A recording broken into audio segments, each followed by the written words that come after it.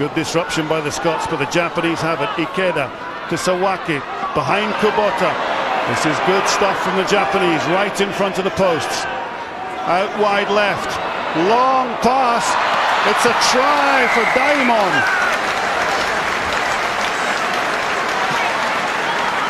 Well, the Japanese straight back into this.